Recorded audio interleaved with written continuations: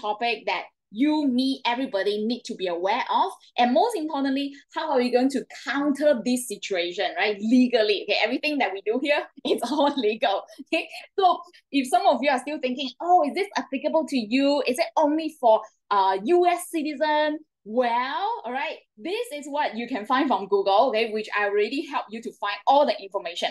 If you are from the US, you are super lucky, okay, because this will not be applicable to you because if you are from the US and if you are going to pass away, which eventually everybody will, right?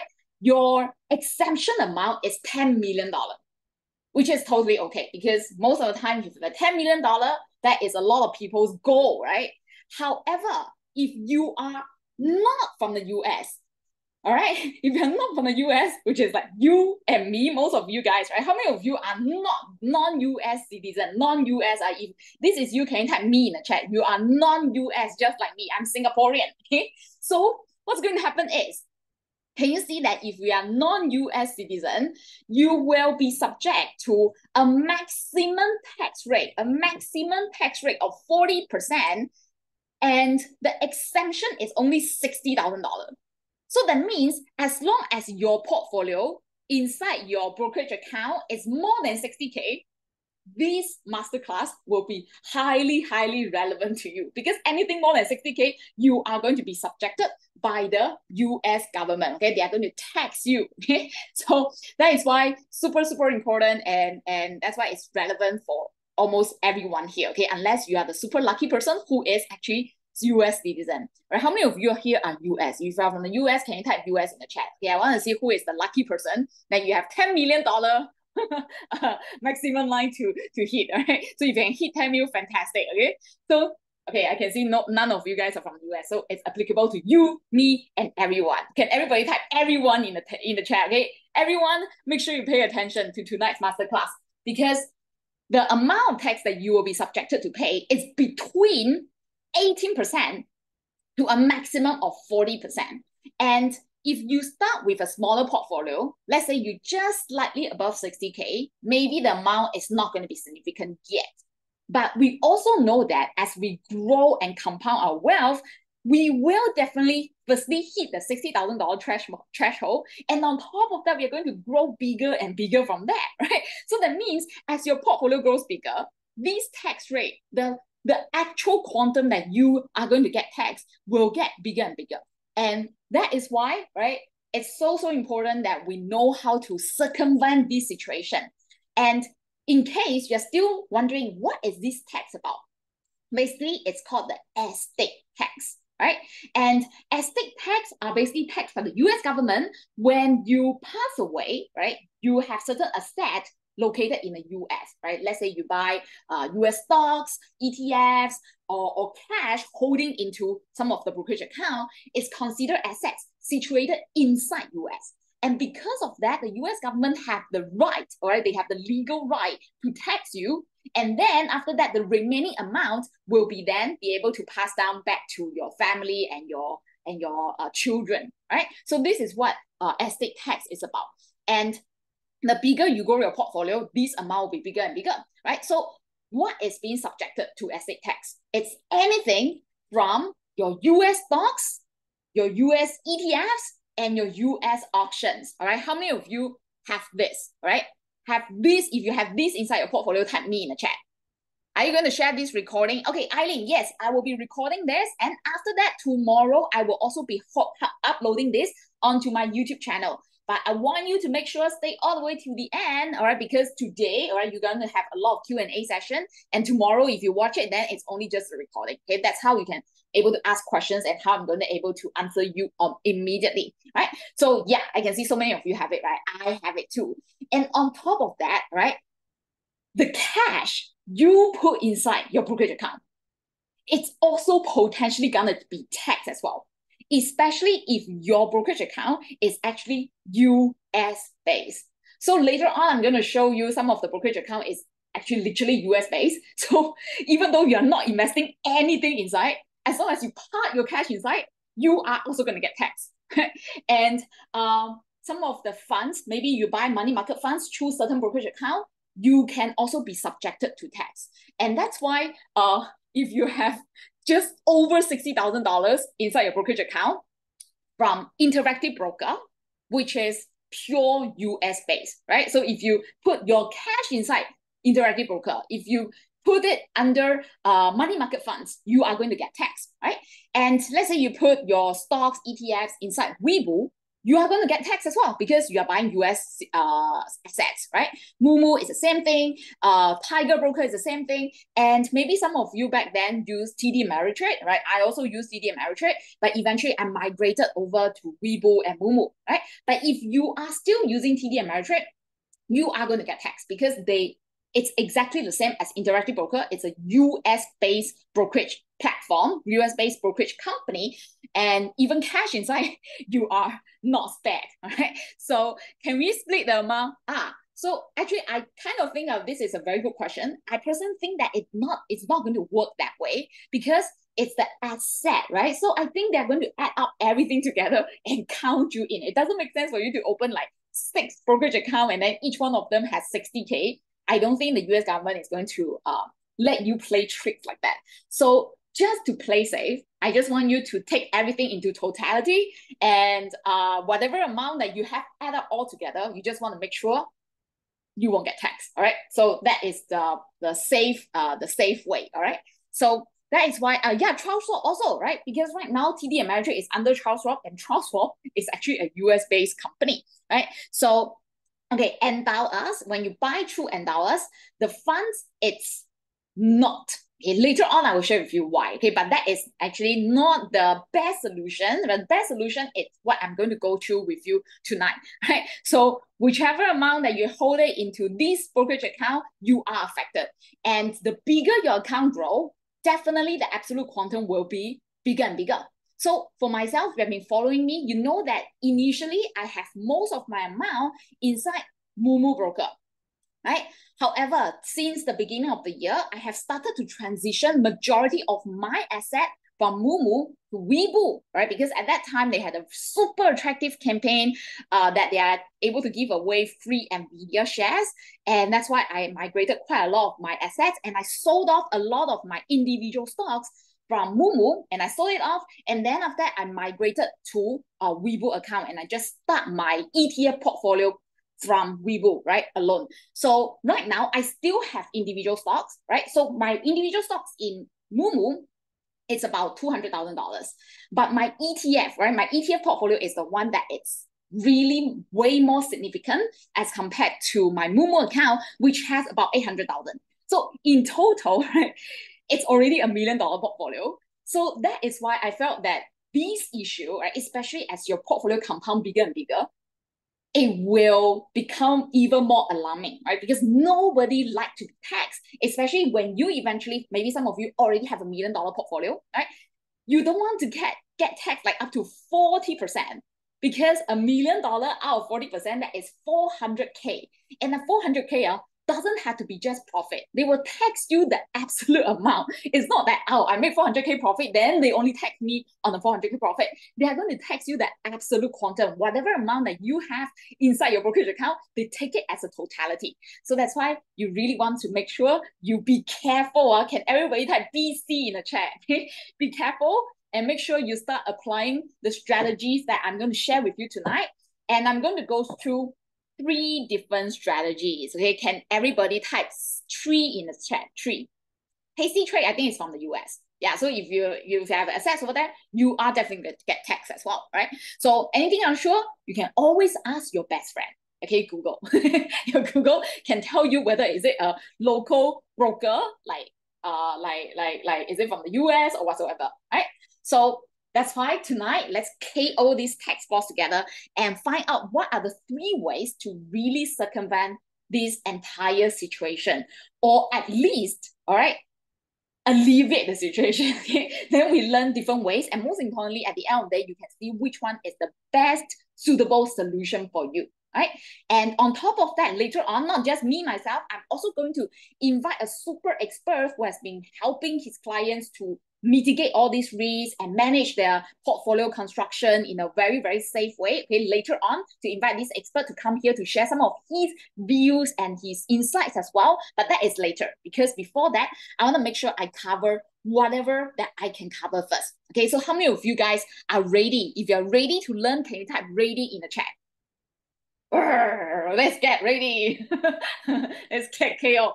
So KO strategy number one, all right? If you want to be 100% avoiding estate tax, there's one very simple strategy, right? That strategy is you just make sure your portfolio in the is situated in the US is less than $60,000 right? Which I see quite a lot of uh, Singaporeans, they do that eventually, especially when they grow older. They kind of feel that maybe the US market is a little bit too volatile for them, or they just want to avoid, right, estate tax, right? So they kind of sold off all their US position or reduced to a huge, huge uh huge amount and then they only have 60k and they come back and they invest heavily in the U uh in the Singapore stock market right? Because when you invest in the Singapore stock market, you are not going to get taxed. The, the, our government here is really fantastic, right? No capital gain tax, no dividend tax. That is awesome, right? However, I know this is not the best solution, right? Maybe some of you may be rolling your eyes right now, but you know, Chloe, I want to invest in the US, right? Because compared to Singapore, US do does offer a lot more opportunities, right? Many great international companies worldwide making money worldwide, right? While Singapore is pretty limited to just a small country, right? And um, Singapore, there's no options.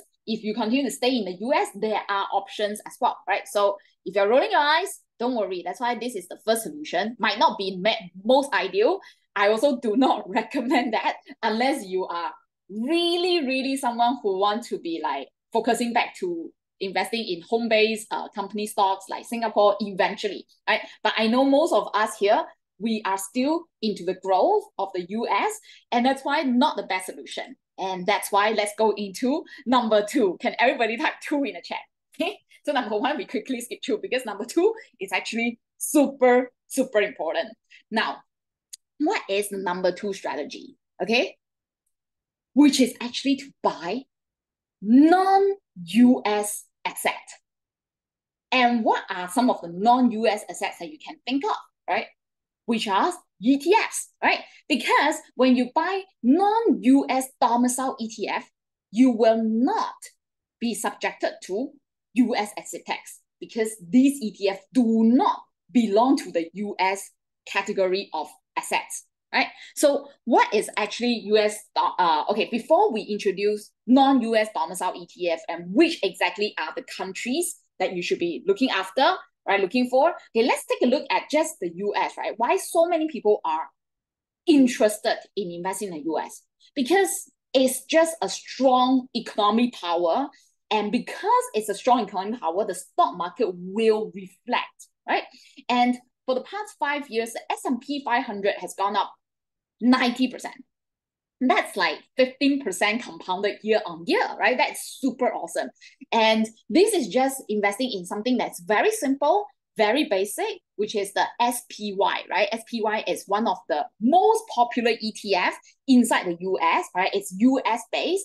And once you buy into SPY, you are literally buying the top 500 companies in the US.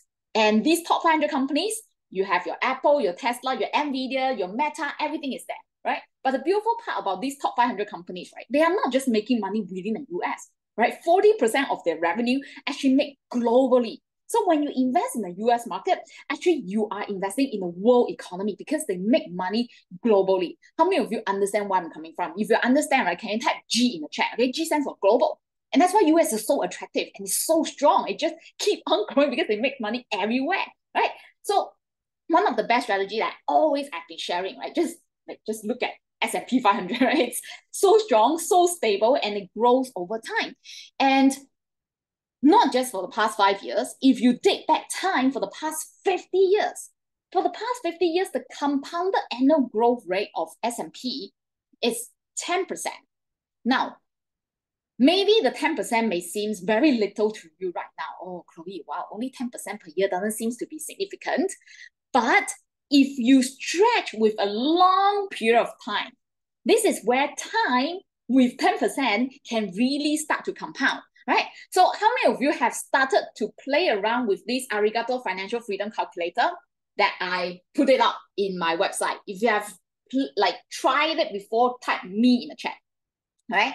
If you have not tried it, you have this is the first time you're seeing it, type new, okay? How many of you are new to this calculator? How many of you have actually tried it already, okay? Or some of you tried it before ET, all right? Ivan, it's the first time for you. Okay, so now let me just quickly go and try out for you guys, right? So that later on, uh, you can just scan this QR code. You just scan this QR code, um, you will be able to go to this website. But basically, let me just demonstrate for you right now how you're going to use it, right? And I want to just show you the magic of compounding with just S&P 500, right? As simple as that.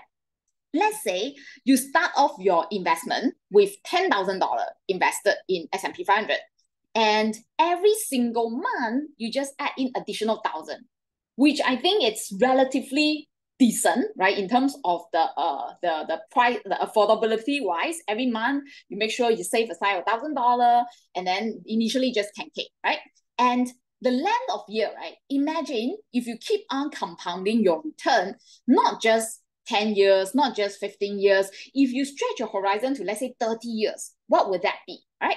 And your expected rate of return, just use the past 50 year track record, which is 10%, right? So I'm just going to keep it like this. And then after that, let's calculate, okay? Let's calculate what is going to happen if you just compound 10% year on year for 30 years. Okay, so after that, okay, once you click calculate, okay, you can see that the chart start to plot out, right? I want you to ignore the green line first, okay? I want you to just look at this left-hand side, right? The left-hand side is the S&P 500. And in, uh, remember, okay, I want you to look at the left-hand side. The initial contribution is $10,000. But over time, because you keep on adding 1,000, 1,000 every single month, so after 30 years, right, after 30 years, you will have contributed $372,000 but that is your capital. Because your capital keep on compounding mm. 10% year on year, eventually, how much would you earn in terms of interest, right? You will have earned this amount. You will have earned 100, okay, sorry, $1.9 million. So eventually, your portfolio actually grow to $2.3 million. So 30 years down the road, just by starting with $10,000 investment and $1,000 every single month subsequently, you will have compounded to $2.3 million. Who think that this is actually pretty good? You think this, this is pretty good, right? Can you type S&P 500 in the chat? Right? As simple as just using the S&P 500, you are able to become a multi-millionaire, in fact, in just about 30 years' time, right? And of course, if you have a bigger amount, that's how you can compound and accelerate into a million dollar portfolio much, much faster as well, right? So that's the magic of compounding. And if we go back to the slides, right? That's why so many people are super, super passionate about investing in the US because it just provides the kind of stability and a long-term track record that investors are looking for right? But very importantly, you do need time. Uh, can everybody type LT? Okay, LT stands for long term. So don't expect to be like one year you become a million millionaire. Right? You do need time. But once you give yourself time, right, that's how your your millions is, is going to come to you, right? That's why I always share to my ETF community, to my students, just be patient and keep on buying great ETFs over time, right? And S&P 500 is definitely one of them. Of course, there are other great ETFs that can accelerate the return faster, but everybody can start with S&P 500, right? So now, that's how your $2.3 million actually come from. Now, very importantly, eh, if you decide to stick to this plan, which is a fantastic planner, right? But because it's US domicile, right? Eventually, let's say 30 years down the road, you do have $2.3 million inside your account, you are going to get taxed. And imagine the US government is going to tax you up to 40%. That means almost $800,000 is going to go to the US government, not go to your family, not go to your loved one, right? And this is why this is super important. And I want you to remember there's another way to own S&P 500 through another country. Okay, guys, can you make a guess which country is this? Which country is this? Based on this uh, beautiful picture, it's very empty. It has nothing. it's only very scenic. wow, fantastic. Okay, many of you are already know, already know this country. Exactly, it is Ireland. And do you know that if you buy an ETF that is Ireland domicile, that means it's not located inside the US, but located inside Ireland, you are insulating yourself from tax because the US government right now have no rights to charge you for estate tax, right? And that means you no longer need to be confining to your to $60,000 portfolio, right? And on top of that, one more advantage of investing in Irish domicile ETF is they also provide a better dividend tax as compared to US tax rate. So some of you might be aware of if you invest in US stocks or ETF, when they pay you dividend, you will be taxed 30% automatically, right? But if you invest in Irish domicile ETF, your tax for in terms of dividend reduce by 50%, right? Right now, you only pay 15% in terms of dividend tax rather than 30%. So in this way, you also save more money as well, right? So what is that ETF that you can look into if you want to buy into Irish domicile ETF? And the ticker symbol is CSPX. Can everybody type CSPX in the chat? Right? Because it's super important. You want to make sure you remember this. All right. So CSPX, as you can see, basically tracks the S&P 500. Can you see? The fund seeks to track the performance of the index composed of the 500 large cap US company, which is the S&P 500. So it's the, exactly the same thing, but this time the domicile country is Ireland. And because of that, you are spared from the estate tax issue, right? And you can also see that when you plot the chart between S&P 500, which is SPY, versus CSPX, firstly, the chart looks very similar because they are basically tracking the index, the same thing. However, if you notice, right, actually the CSPX, which is the purple line, the purple line does slightly better as compared to SPY. Why? Because for the purple line, which is the Irish domicile ETF, right? Not only, right? Not only it's you are uh, you are not subjected to any tax, right? The use of income here, it's accumulating, right? What does accumulating mean is, remember, S&P 500 does pay you some dividend, okay? A little bit, but still there's some dividend. And whenever this dividend is being received, this CSPX will automatically reinvest for you so that you are accumulating more CSPX over time.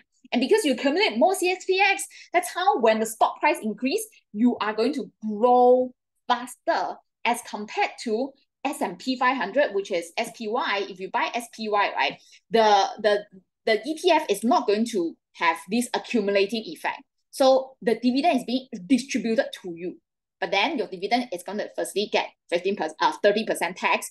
And because you're buying less right now, your stock price performance over time will be less as compared to an accumulating ETF, right? So if you understand the importance of buying an accumulating ETF, can you type A in the chat, right? So this is the power of CSPX. Okay, but once again, there's always both sides of the coin, right? So the good thing about CSPX is fantastic. You avoid tax. You also have slightly better return over time. But okay, the problem is you have more limited liquidity, right? Because when it's a Irish domicile ETF, firstly, the, the trading volume is definitely not going to be as great as the US market, okay? And secondly, right, the capital requirement is also quite high, right? Because the per share is 634 USD as compared to S&P 500, it's slightly at a slightly lower range, okay? So, but still, uh, you still need a larger capital. And even though CSPX allows options as well, okay, this one has options, right? But it's not US option, it's European option. Okay, so the rules is also slightly different. But the capital that you want, you if you want to do options on the Euro European stock market, is still a lot. Okay, so that is the the the issue with buying CSPX and or even consider doing options on it, right?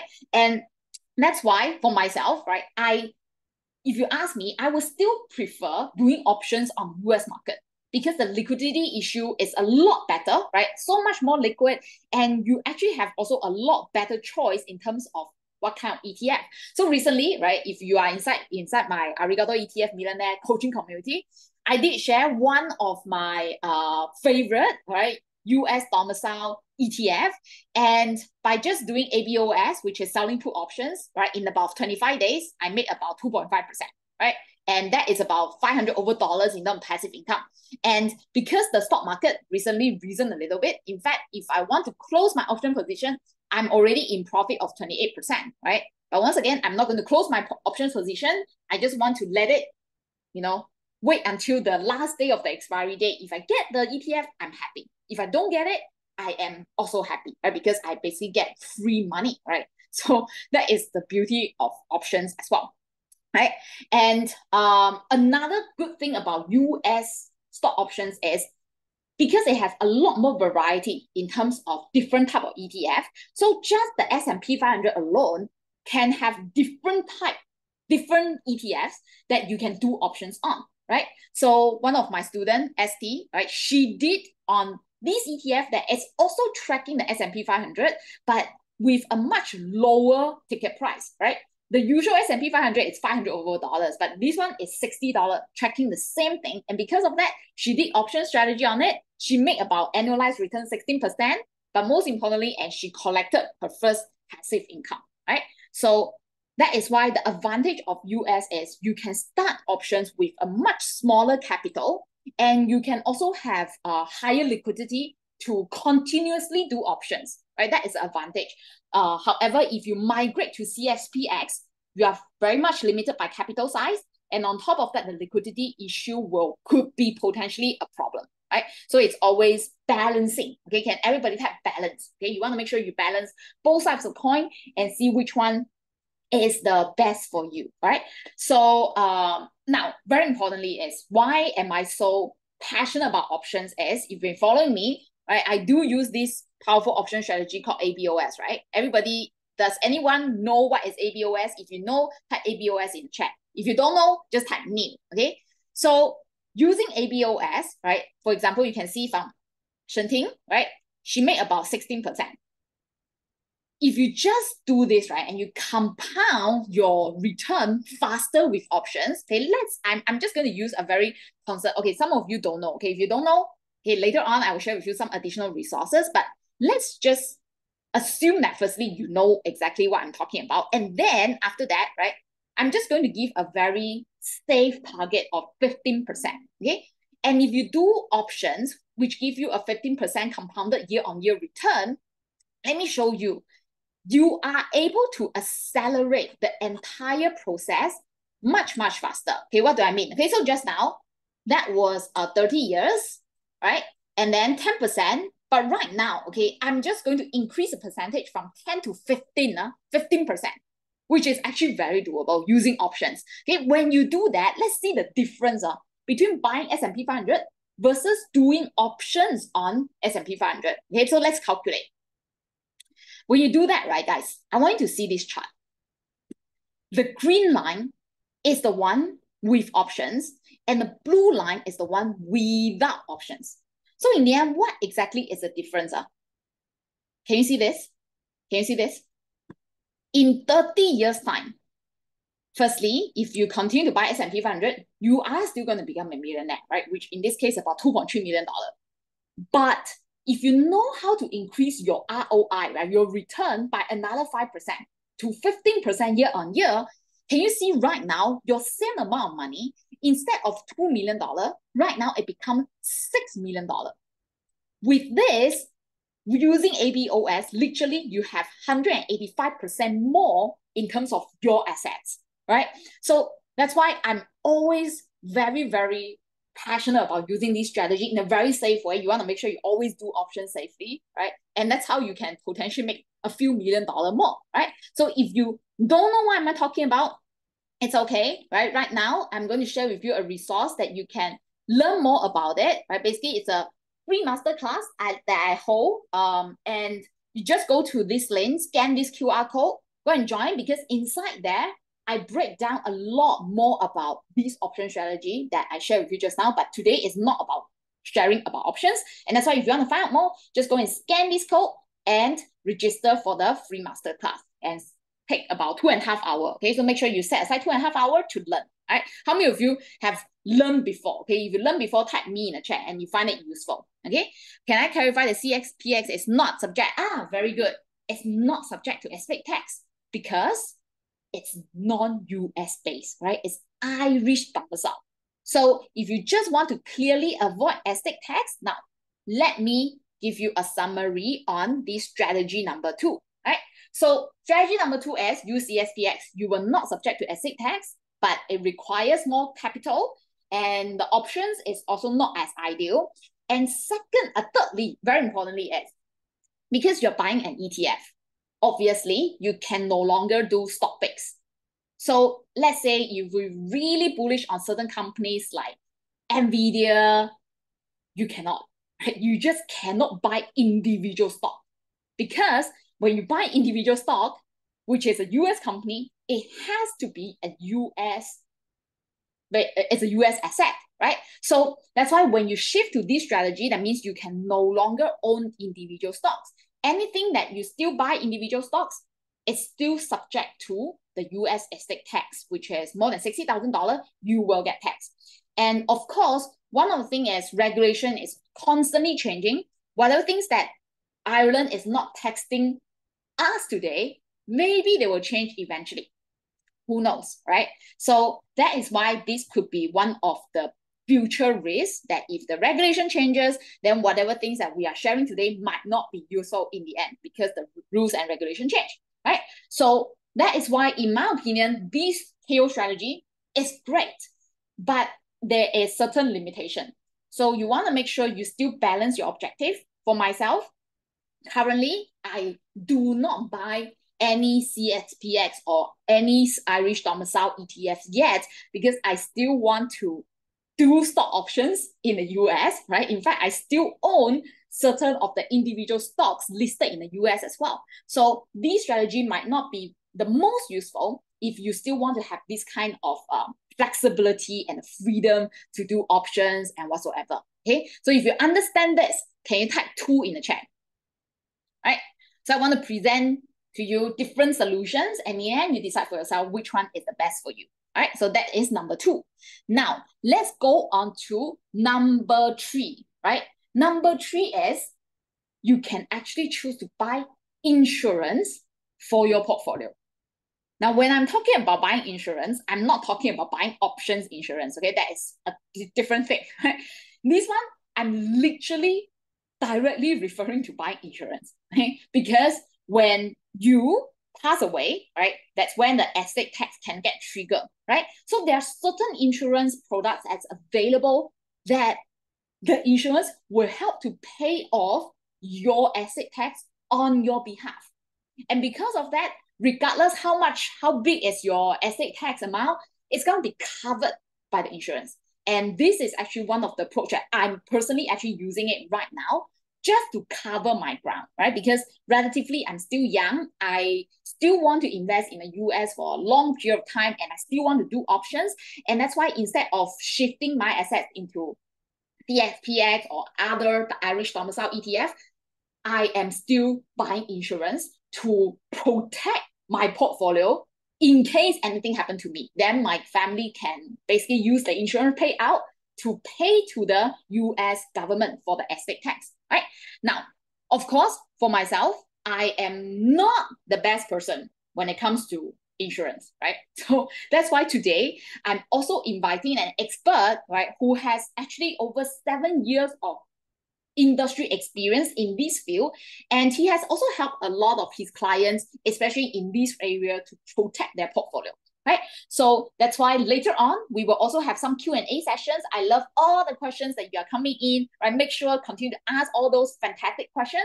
But before that okay let me just invite all right our expert guest today and his name is sean. Okay can everybody type hi sean in the chat right? And Sean is actually from Prudential and he's also from Derek Koh's organization.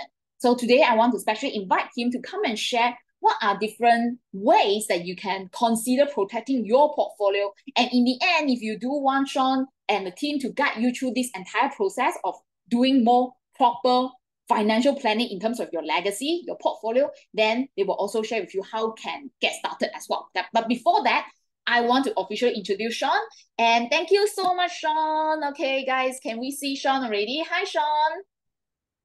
Hey, hi, Chloe. Hi, good to see you. Thanks so much for uh taking your time to be here. And everybody is so excited. Yes, hi, Sean. And I'm Sean. Hey, hi. yes. Hey, So yeah. uh maybe maybe before we get started, can you share with us a little bit more about your background first? And Mm. uh like you have over seven years experience and how has it been for you, you know, in this industry? Yeah, uh, yeah, thanks, thanks for the introduction, uh, Chloe. And thanks for the warm welcome on the, the chat. Yeah, a lot of people saying hi to me. Yeah. So uh, I'm actually in industry for about seven years. I've also been prudential also. And I think uh, for myself, I actually been investing even in US market for more than decades, right? Even when I started in army time, I already started investing. Yeah, and I think right now uh, we can see that there's a growing trend of people investing, but even right now, I do meet a lot of people that don't really know about this estate tax. Yeah, so I think the, the topic that you're covering actually can cover a lot of uh, probably a lot of gaps that people have. Yeah, and um yeah, so of course uh through the years I met a lot of clients and even families, right? And through all this financial planning, right, actually we managed to find a lot of strategies to help them mitigate this uh this risk lah, that they have. Mm. I see. So is it a growing trend that more and more people, because like you say, a lot of people are still not aware of estate tax, right? I was, I only came to be aware of this like this year. Previously, I totally didn't know about that. So do you see it's a growing trend or there's still a huge gap? Actually still huge gap there. Mm. Say I think probably more than 50% of my clients don't really know about that still. So they Yeah. were quite shocked when you told them that, hey, do you know that you will get that? Right, right, right. Yeah, that's right. I see. So for yourself, right, like for uh, what kind of advice that you usually give to clients, uh, especially in this kind of asset planning, right? Like I know there are different type of insurance. Are you able to share with us what type of insurance are available out there and what are the pros and cons? Because at the end of the day, there's no one size fit all strategy. What are the pros and cons for different type of insurance so that our audience here can also be more aware which one is more suitable for them? Sure. Uh, okay, let me just share my screen and then uh yeah, I actually prepared some slides also. Yeah. Okay, awesome. Yeah, you Wow, can your slide's very nice. you can see the screen, right? Yes. present. Okay. Yeah, so full screen now. Okay, I think uh to probably address some of the challenges that uh we commonly see our clients face, right, is that um okay, like for example in Singapore, right, actually there's a lot of uh people actually living longer these days. In fact, we just took over Japan for the longest lifespan. Yeah, so that also comes with a new concern uh, or challenge, right, where we are actually outliving the retirement savings. And also uh healthcare is getting more and more expensive these days. Yeah, so a lot of planning that that's actually one of the risks that uh probably one of the most common risks these days. lah. Yeah. So I think more relevant to yours is actually more on the investment risk as well as portfolio yeah. diversification. Yeah, market is getting very volatile, and um, not going to comment too much about Donald Trump winning election, but yeah, we, we can see the market is moving quite a bit. Yeah, and uh, for business owner, right, or even people that actually um they are more they have a lot of passive income methods, right? Um, they also have to look into business succession succession planning because Mm, when they transfer the ownership to uh, and management to their let's say even their loved ones, right? They may potentially face a lot of issue, even liquidity issues also. mm, So in legacy planning, always been uh, one of the concerns that is to protect the wealth of future generations. lah. Yeah, because I think we as Asians, we, we tend to want to give leave something for family behind also. Yeah. And then uh, relevant to what you what you mentioned just now is estate planning. Yeah, because 40% uh tax, right, actually is a lot. Yeah. very significant. Correct. Like losses they don't share, but then the gains they, they take. Yeah. Correct. Yeah. So actually to to address this, right, um, there are actually a few ways we can do. Yeah. So actually, uh, more into insurance coverage, right? Um, I think the most popular one is actually covering for term insurance. Mm, Yeah. So term insurance is probably the most straightforward one where you get uh high coverage for a small price. Yeah. So it's straightforward, no frills, just pure protection, very straightforward. mm, Yeah, so you can actually choose the number of years that you want uh, your term to be. So usually my clients will look into like the golden years where they have still have kids, you know, the where uh, liability is high, they have to protect, you know, family members. Yeah, of course, the downside about this is that there's no payout if you do outlive the term. Yeah. So there's no money back, lah, in other words. Okay, and cost actually increases as you age. Yeah, so depending on the way that the, the insurance works, right? Some of them is actually locked in the premium uh, throughout the whole duration. Yeah, some is on renewal basis. So it depends on the kind that you actually got it. Yeah, and then of course, uh, because you don't get anything back, there's no cash value. Yeah, so it's a pure, you know, just really straightforward, just want to get coverage. Okay. Yeah. So so for example, let's say I currently actually I I, I bought a term insurance for myself as well. And I think I bought until like 65 years old. So the problem is then what if after 65, which I think I'm going to outlive 65. So what's going to happen, right? Is that what you mean?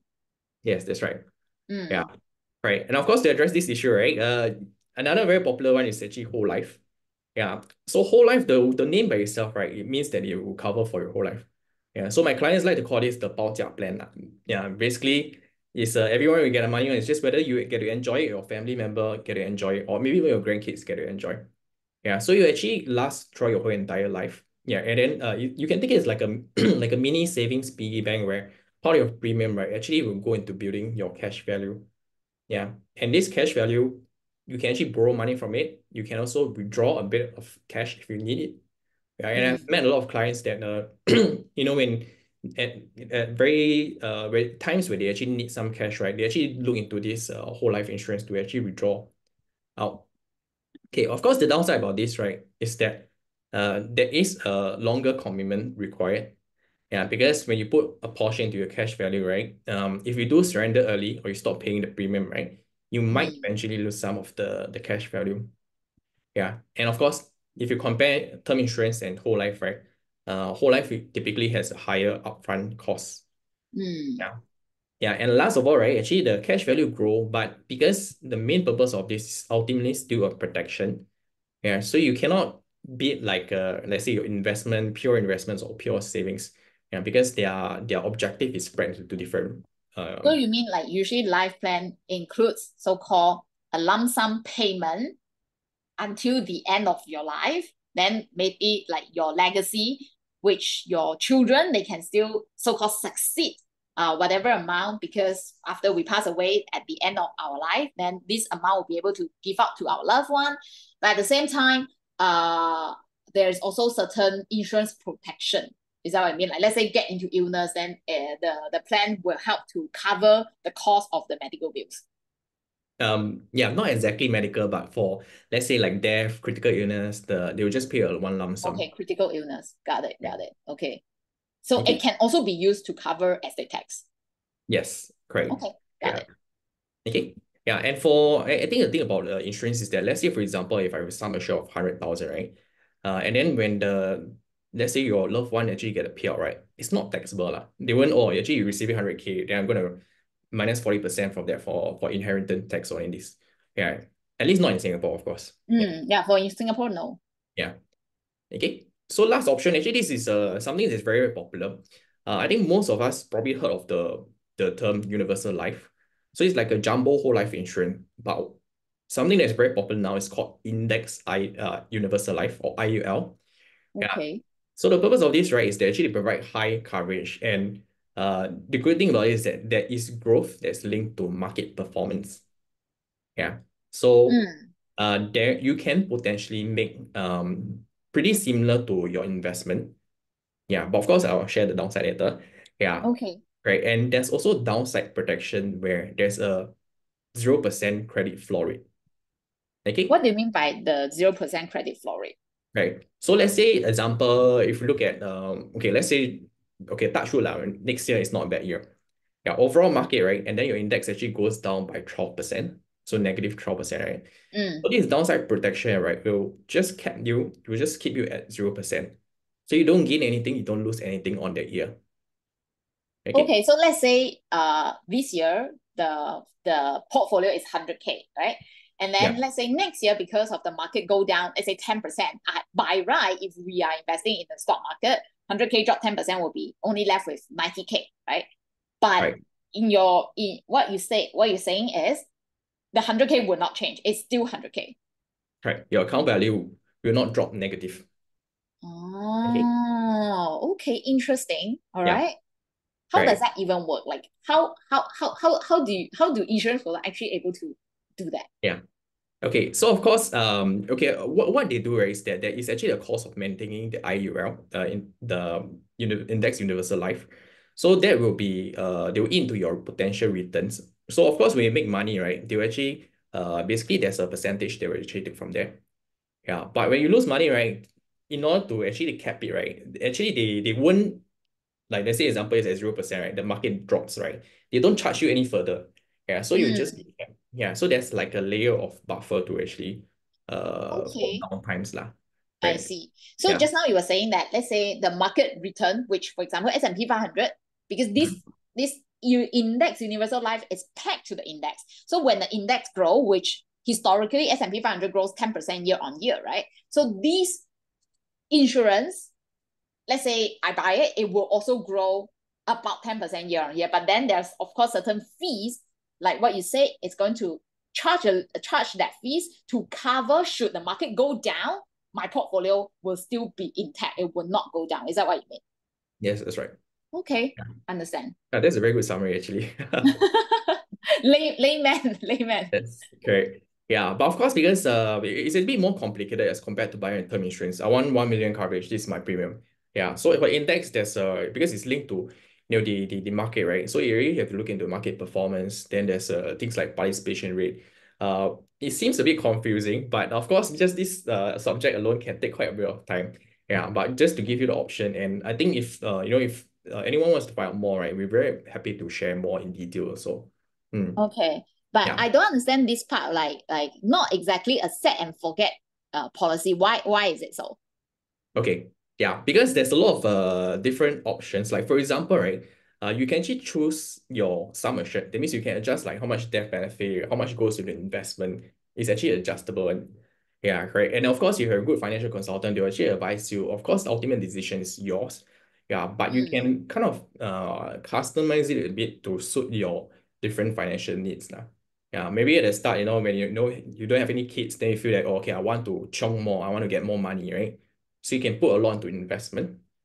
Yeah. Mm. But eventually when you have uh you have kids and then you want to uh at least you know have a bit higher coverage, right? You can also adjust the value over there. So So there's also insurance coverage under it.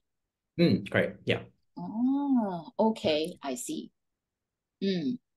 So Okay. what so so is that the so the downside of this IUL is uh it has caps on the growth and higher costs. Yeah, higher fees. Actually, it's higher fees. That's why the, the, the growth, actually, there's no cap. Uh, the, the, the caps on growth, right? Meaning that example, let's say if the market performs 10%, right? Yeah, so you may not get the exact same as 10%. It'll be slightly lower compared to that. Mhm. Okay. But as long as the market go up, actually these will go up together. Is that what you mean? Just that the the the the fees, because of certain fees, it so-called instead of 10%, maybe it's I don't know how many percent, like 8%, 7%. Is that what you mean? Yeah, that's right. Okay, interesting. Right. So usually what uh like do you have any um case study or like like how would you advise client which one to choose depending on the person? Yeah. Yeah. So actually this this is a very good question. And I would say that actually it really depends on the current financial situation and of course the financial goals of a client. Yeah. So let's say if you're typically starting out, right? Let's say you're very young, you know, you just started working and then you want to get into the investment journey. Uh, probably what you can start off is with probably term insurance or even a whole life insurance. Yeah, because uh they are definitely more straightforward than uh as compared to an index universal life. Yeah, but of course, when you reach a certain level, you know, you have uh you're probably looking for higher potential growth rates, right? And then probably you can look into index universal life also. So it's a step-by-step journey. Of course, not nothing wrong if you want to start with the index universal life also. Yeah, but I think ultimately it's really getting to meet the each individual and then we customize uh, what's more suitable for them also. Okay, so one of the questions I have is because we are talking about in the end, right, estate tax, let's say Mhm. um my portfolio a million dollar can be subject to up to 40% tax. So Mhm. how is the insurance plan going to help me? Yeah, okay. So like example, right? Um, okay, let's say, for example, you want to leave one million to to your uh whoever is your loved ones. Yeah. Right. So um, let's say on average, your $1 million portfolio rate can cost, uh, can let's say if any dividend or anything that you're getting out from there, let's just say get, get about four to four to 6,000 per, per year. So you can actually push this into like, let's say a term insurance or a, uh, let's say a whole life insurance, the premiums. Yeah, but you're guaranteed probably, let's say a 1 million coverage, right? So in fact, that actually frees out a lot of your cash flow already. Yeah, so Tashu, if anything happens to you, right, you, still get 60% for your family because 40% tax minus away whatever you have. But the 1 million coverage, right, from the ter- uh, from the term insurance will still be given out to family also. Yeah, mm. right.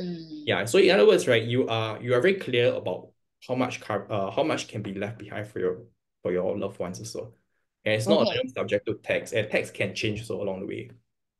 Yeah. So what what uh you're saying is because we are still investing into the, the US assets. So mm-hmm. that part, the US government will still taxing, taxing this portfolio or whatever amount that we have inside the brokerage.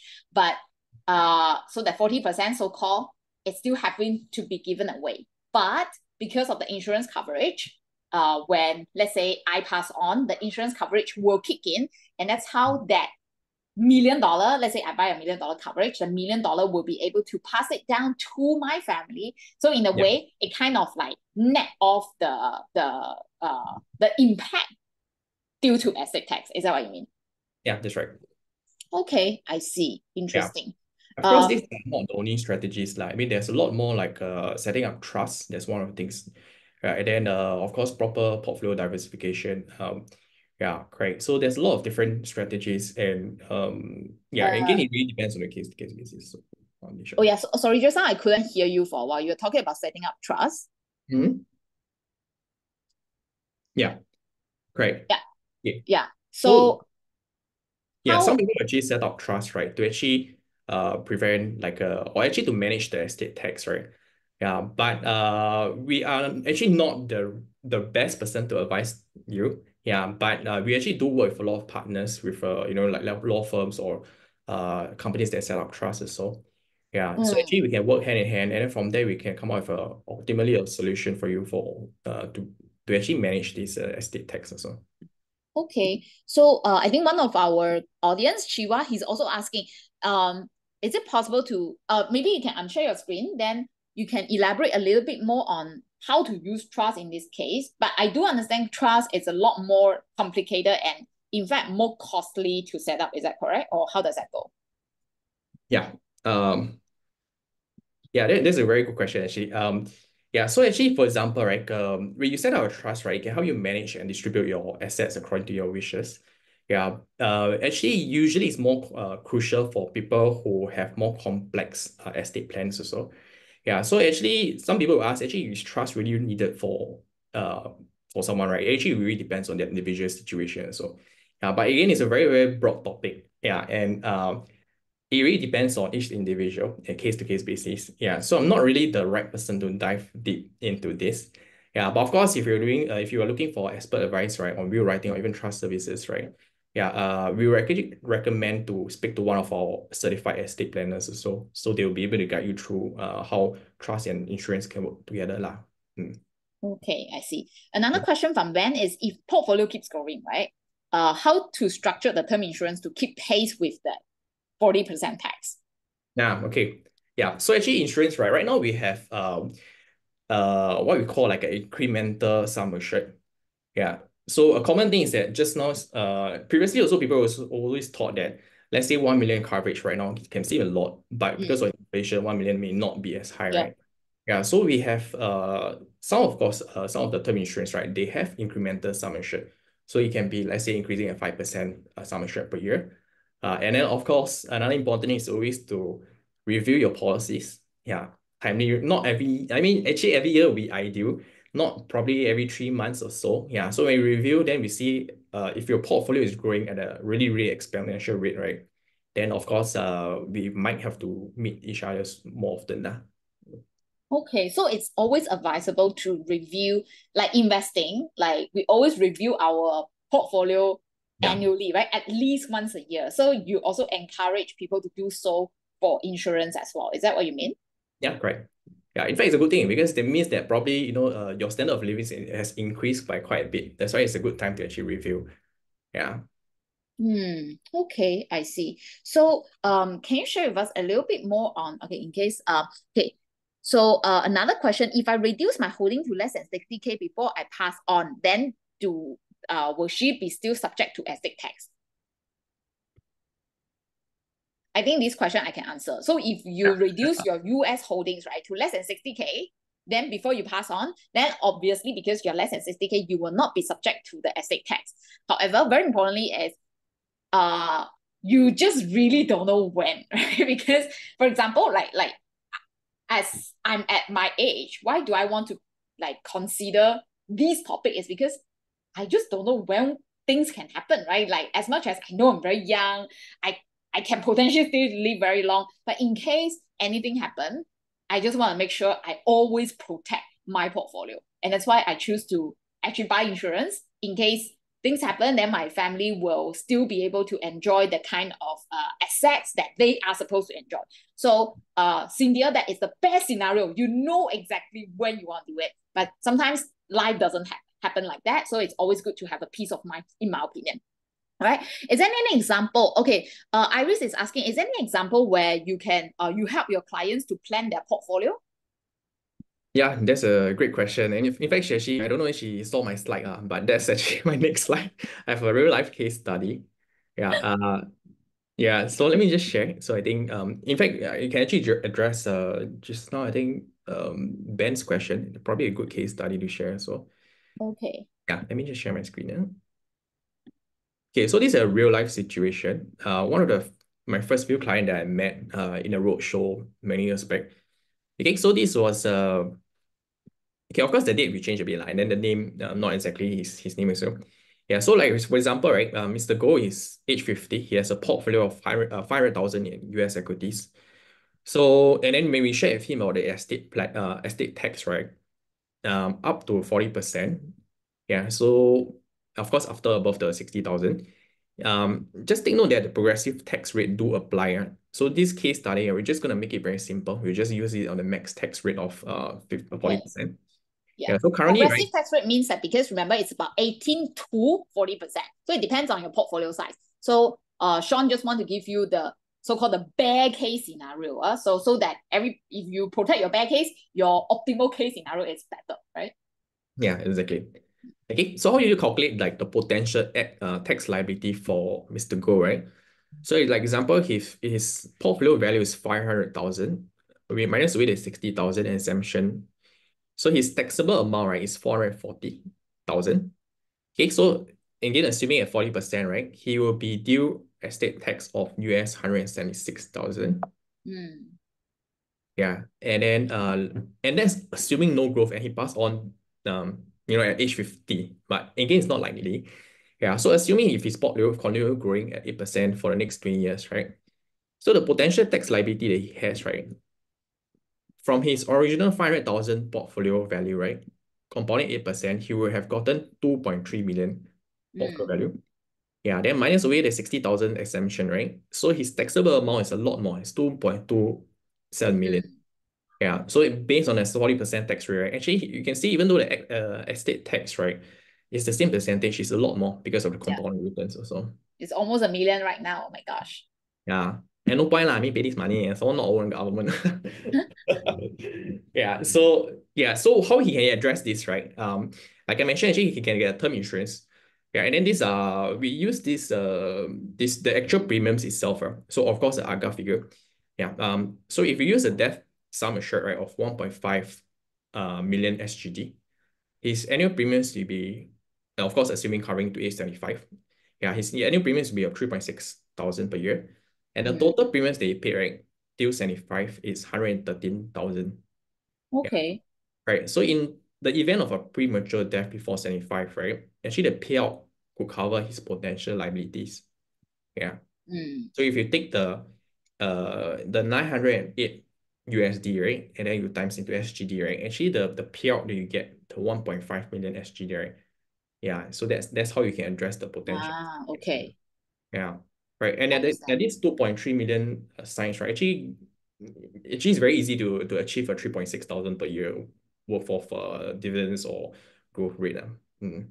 Yeah. So in a way that in exchange for uh potential 900k US dollar payout, right? Mm. Which translate to amount about like 1.3 to 1.5 million SGD, right? So in in in in in in exchange of risking that 1.5 million dollar, right now, uh, for Mr. Goh, he actually bought a term insurance and uh, premium is 3.6k per year.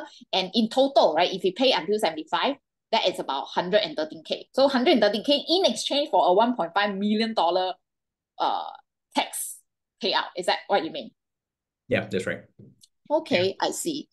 Uh, all right. Uh, I think there's a good question from Ben also, since we're talking about this. So at the estate tax of 40%, right, is it payable upfront in cash uh, or before the entire portfolio is released to the surviving loved ones? Yeah. Okay. For tax issue, right? Probably not the best person to advise us well.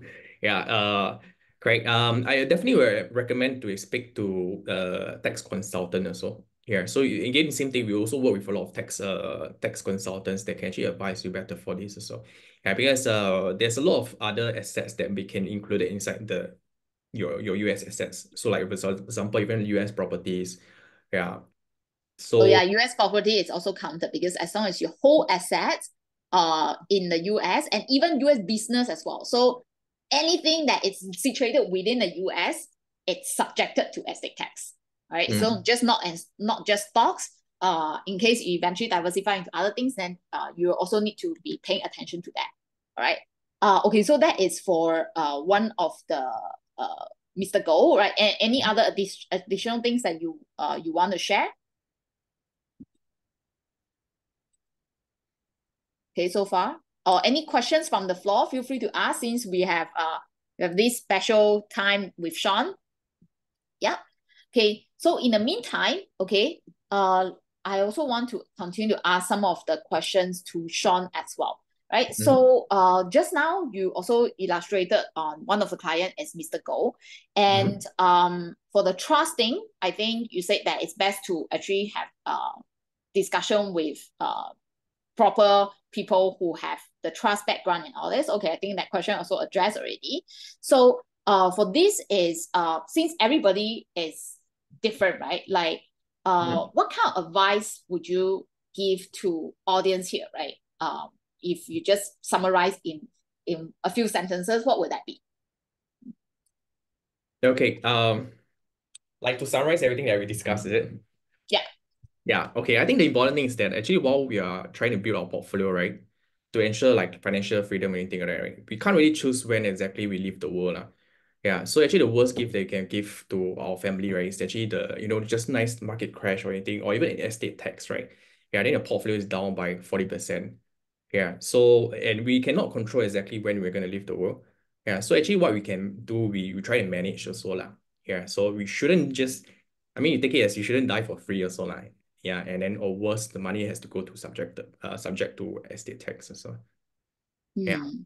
right. So, I think it's always good to plan early, right? Yeah. Just like uh, in case anything happen, you all, all want to make sure you have that peace of mind.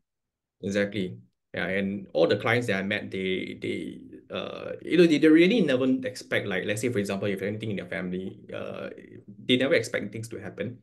Yeah, but at least what they can do is at least have the foresight to plan ahead. Yeah. Yeah. And uh regarding Ben's question, okay, even though tonight we do not have a tax expert, but it's okay. I found some answer from ChatGPT. Okay, so so which I think is quite useful. And it's always good that you can double check later. But this is what I found. Okay, from I asked ChatGPT the exact question that Ben asked. And uh yeah, so basically it's upfront cash to the US government. And yeah, before uh, the disease US situated assets, which is whatever things that we have covered so far, can be transferred, the estate tax liability must be paid in full first. So until the tax is paid, the US government generally can freeze your portfolio. And that is why uh, it's always good to, uh, once again, wow, similar to Sean said just now, planning ahead is so crucial, right? You want to make sure you have the necessary measures and the means to cover this uh amount so that your your loved one uh, and and your family member are well taken care of, right? Should anything happen. Yeah. So uh for exact terms and conditions in terms of the tax, right? I think it's best to consult those tax experts. And I think Sean, they also have certain uh, contacts that they can uh, share with you if you uh, if you want to, right? Later on as well. All right. So any more additional questions from the floor? All right. If not, okay, I'm also very curious. Okay, if for people who are in the process of actually contemplating uh what to do with their portfolio, what can they do? Yeah, I think um again the it's a lot of case to case basis. So I think the best way you can do right is actually uh, I included a QR code that uh, probably they can scan just to you know leave us a contact um method. So at least I think from there, you know, you can look into their different cases and uh, we can have quick chat with them to see what we can do for them. Lah.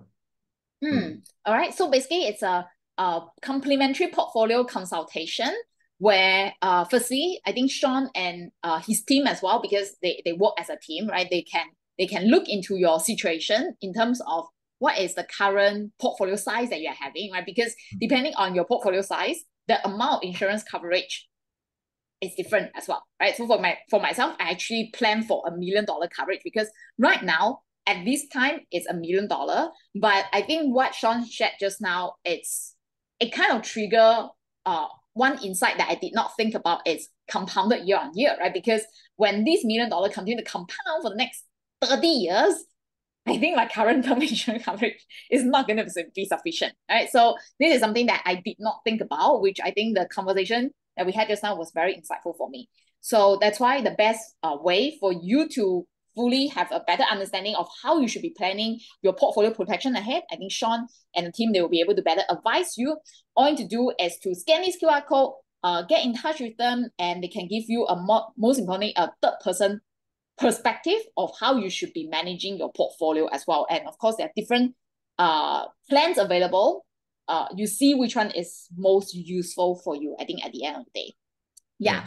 And in the same at the same time, uh, okay, so this one, uh, not sure whether do I do I need to be off record, uh, but this one I also need to ask Sean. So what if uh, uh Raphael is asking, what if you have you know two names in your account and one of them passed on? So it's like joint account and one of them pass on. Will that mm. estate tax still be applicable to the person who passed away? Not insurance, right? As in like uh in their brokerage. The just the brokerage, correct? Yeah, that's a very good question. actually, yeah. from this, right? Okay, previously I actually went to search for answer for this. Yeah. Um, you are still being subjected to estate tax, even mm. though it's a joint brokerage account. Uh, because back then, remember, I keep on finding, trying to find out solutions, right? I was thinking, hey, then if I open an account with, let's say, my mother, or I don't know, with my sister, will I be able to circumvent it? And the answer is no. I will still be taxed. So that's why uh in the end I say forget it. Okay I, I went to buy term insurance. Okay so uh another uh, question from Ben. So one way is to add new term insurance every few years to keep up with the growth of the portfolio. Is that correct?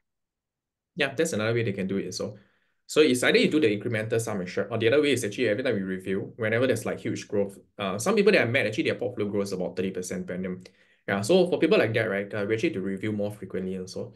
Yeah, so not just about just purely about your investment portfolio to prevent uh, estate tax, but it's probably when you know you earn more, uh, cost of living or your standards of living also do increase. Yeah, so you probably look into getting high, a more expensive property. So even mortgage is also one of the things that you need to consider. Yeah, correct. So uh, there are a few ways: incremental sum assured or review the policy uh, once at least uh, every one or two years if possible. Yeah, right. Okay, so uh, any more additional questions? All right, uh, I also want to ask maybe some people or some people DM me is like, oh, they submitted the form. Uh, when will you get in touch with them? Yeah, um, our team work very efficiently lah. So, so probably within the next few days, uh, yeah, we'll be able to drop you uh, either a, a call or a text. Yeah, then from there we'll be able to arrange. Yeah, correct. Uh, even my team right now, we are still in the office. Yeah, and then they are working very, very closely. So don't be surprised if you receive a call not from me, but my team. Yeah, but we work very closely and we are all very uh very well versed in this uh in this field. Yeah. Awesome. All right. So uh, in the meanwhile, I'm just going to paste the link uh inside the Zoom chat as well for those who cannot scan the QR code for some reason. The, the exact same link I also posted inside. And let me just open it up and uh show you guys what are the information to fill up. All right. Should you want Sean and the team to actually go through this thought process with you to see how you can plan your legacy better as well and your portfolio protection most importantly against the estate tax so uh, once you come into this link basically it's a google form and uh, you want to make sure that you fill up the information in terms of your name your email and actually your mobile phone so that they can uh, mm. drop you a whatsapp or even give you a quick call uh, before meeting you for uh, either on Zoom or either on face to face, right? Depends on, on on your preference as well, right? And then very importantly is uh, do let them know as well what is your estimated current size right now, right? Because based on this, they will also be able to see whether are you uh the maybe you already have certain coverage. Is it enough? If it's not sufficient, then what would be a better choice for you, right? Or maybe your current size is if you is less than sixty thousand dollar, then the amount that you need to protect, right, also don't need to be so much for now, right? So that's why depending on everybody, different people is different. You want to make sure uh go through this form first so that Sean and the team, right, they will be able to better advise you uh when they are jumping on the call with you. Right. So another uh question is do we decrease coverage if there is a bear market and then increase coverage during bull market? Okay. Um. Okay. Something I haven't mentioned yet is the insurability portion. Yeah, meaning that um. Okay, I think probably all of us are under the assumption that we will always be healthy. Yeah. So when you actually increase and then you want to, sorry, when you decrease and then you want to increase, right? Uh, there's the process of underwriting that you have to go through again. Yeah. So common things that will actually trigger, let's say things like loading, exclusion, or even rejection of uh, insurance, right? Is uh probably like high blood pressure as well as uh diabetes. Yeah, and in Singapore alone, that is very, very common. Yeah. So I think uh, um, yeah, it's very unlikely that they will decrease unless there are changes in major changes in the lifestyle, right? Yeah, and then because of inflation, right? People generally they only increase, they don't go down. Yeah, mm, yeah, right. and I think uh, uh, firstly, I think it's a very good question because the market does fluctuate, especially in the short term. But Javier, if you still remember, like compounded year on year return for the past 50 years, like just S&P 500 is 10%, right? So that also includes bear market as well. So regardless whether it's a bear market or bull market, in the long run, the US market goes up, right? So, and in the end, it's about 10% year on year across the 50 year period. So, especially when you are thinking about buying insurance for your portfolio, you are also investing for the long run, right? Because you are going to invest for a long run, it makes sense for your insurance to be aligned with your investment timeline, right? So if your investment timeline is 10 years, 20 years, 50 years, then your insurance plan should peg towards that, right? And if you are investing in a long run, actually the market is going to go up in the long run. So uh don't think about, oh, should I decrease my coverage during the bear market? Because that only lasts for short while but it's a long run, the compounded return that is going to be very, very huge, right? And that's when your estate tax can be subjected to even more because as your portfolio grows bigger, right? And I think one of the things uh, I remember just now, uh, Sean talked about the IUL, is it Index Universal Life, right? One good thing that I think is quite attractive, it's um, if the market does go down, your portfolio is not going to go down together. So it's so called like, in a way, like Buffett never lose money, right? Because there is just no downside to how much your portfolio is going to go down because it's uh you're basically having the zero percent floor rate, right? So that is something that you might want to consider, right? Especially if you want to protect your portfolio. And the meanwhile, as the market grow, it can also grow. It grows together with the market. It pegs towards the index. But of course, there are certain fees so that to cover the downside, right? So I think the best person to talk to will be Sean and uh, their team as well, right? So any more additional questions from uh from the rest? Right. If not, right, how many of you felt that you learned a lot from tonight's session, right? The three strategies, whichever that you think that it's most useful for you, all right? If you, most importantly, as you want to make sure it suits your own objective, right? So for myself, currently, like I said, I do not buy into the Irish domicile ETF yet because I still want to make sure I have the liquidity of the US stock options. It can help me to compound my portfolio faster. But in the meanwhile, I don't know what can happen. So that's why I buy my insurance in case things happen, my family and my loved one will still be protected. So that is my current strategy. And as I continue to age, my strategy might change over time. But as for now, I can only share with you what is best for me. So very importantly, as you want to understand what is the best for yourself. And if you are not too sure, I think it's also good to consult um like Sean and the team so that they can also give you better opinions because that they have worked with many different clients to help them to protect their portfolio as well, right? So I'm so glad that it's useful. Uh, is there any text? Ah, okay. So Charlene, very good question. So when you buy through Endowus, right, there is no tax as well because Endowus is basically Irish domicile as well. Okay, so the funds that you're going to buy through Endowus is also Irish domicile. So when you buy through Endowus, it's pretty much like you are buying CSPX. It's almost the same thing. All right. So very good. Okay. How many how, how many other people also feel that it's useful? If it's useful, can you type useful in the chat? Okay. So uh maybe before we wrap up, okay. Uh Sean, are you able to unshare your screen and take a photo together with you? Damn. And uh yeah, fantastic. Okay, I'm so happy that so many of you find it useful. Okay, let me just take a photo, everybody together, and three, two. Okay, hold on. Uh, let me make make make make. I want to make sure I smile happily first. Okay, so three, two, one. Awesome. Okay, thank you so much, Sean. Thank you so much, everybody. Thanks, and thanks, uh, glad that you guys enjoy it to lo- a lot. And tomorrow I will be uploading this recording onto the YouTube channel as well. So feel free to rewatch it. And if you actually, I think this topic is relevant to almost everyone. So if you have friends or families are actually heavily invested in the US and they don't know exactly what to do, or they are not even aware that they will be subjected to estate tax, make sure you also share this uh, YouTube channel link to them later on so that they can be more informed, right? Then they will be able to make better decision for themselves as well for their legacy planning. All right. So thank you everybody once again. I will see you guys in my next sharing. And for those who have not come for my free two hour masterclass, make sure you also come because there will be uh, I will be covering a lot more strategies, all right, especially for those who are not aware of options, right? So uh, join my masterclass over here, just scan this QR code and yeah, you're going to learn a lot more about investing, especially through ETF and how you can use ETF to combine with the ABOS option strategy to increase your return in a very safe way.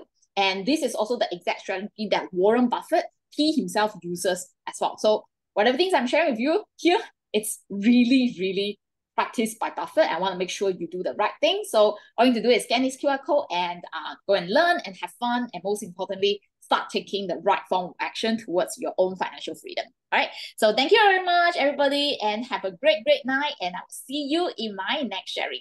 Arigatou gozaimasu. Bye bye. See you guys. Good night. Thank you.